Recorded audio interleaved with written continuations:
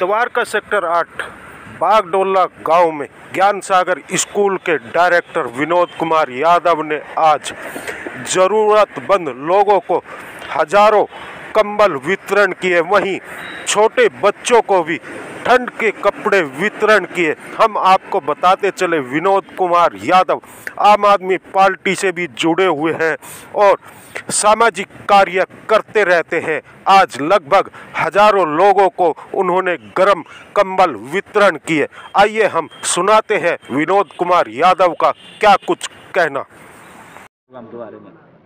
मुझे बहुत अच्छा लगा।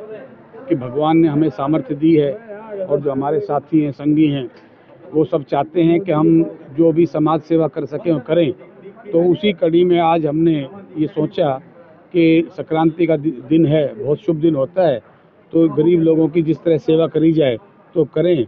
तो लोगों ने बढ़ चढ़ के हिस्सा लिया। हमें बहुत खुशी हुई। जरूरतमंद लोगों को कंबल बांटा गया है यहाँ पर? मेरे ख्याल से 400 से ज़्यादा लोग यहाँ साढ़े चार सौ लोग मौजूद थे। बच्चे भी शामिल थे इसमें उनके हाँ बच्चों के लिए हमने ट्रैक सूट की व्यवस्था करी थी।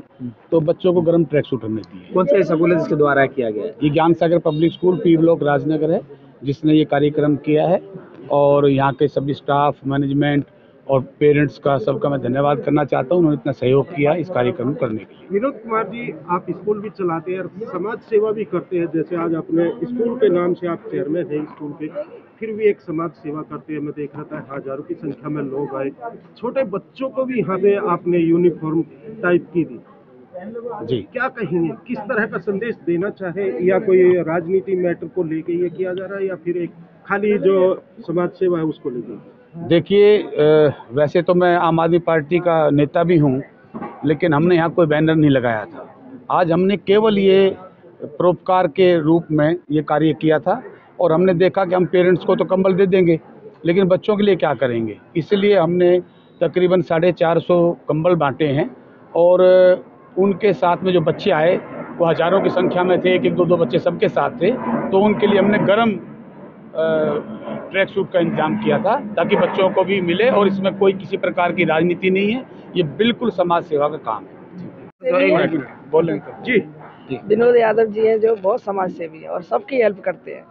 और हम भी उनके साथ लगे रहते हैं। कभी भी हेल्प का काम आता है तो हम भी साथ खड़े हो जाते हैं और बहुत जगह जगह करते हैं। यहाँ ही नहीं समाज में भी करते हैं हेल्प का काम।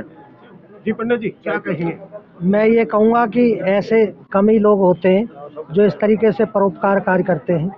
आदरणीय, ये हमारे विनोद यादव जी, इन्होंने वास्तव में ये गरीब लोगों और ज़रूरतमंद लोगों के लिए जो आज ये परोपकार का कार्य किया है, इसके लिए मैं इनको धन्यवाद करता हूँ और इनकी पूरी कमेटी के लिए धन्यवाद करता हूँ कि ऐसे लोग जब समाज में रहते हैं तो समाज का जो हमारा ऐसा कोई ज़रूरतमंद तबका रहता है, वो ये महसूस ना करे कि इस हमारा कोई है ही नहीं। तो परमपिता परमात्मा सबका है तो इन्होंने इस कार्य को किया है। ये मैंने अपनी आँखों से देखा और आशीर्वाद देते हुए इन्होंने पैर छू करके, वृद्ध लोगों के पैर छू करके कंबल बांटे हैं। इसमें कोई राजनीतिकरण नहीं है, इसमें इनकी, ये परोपकार की भावना है। ऐसा।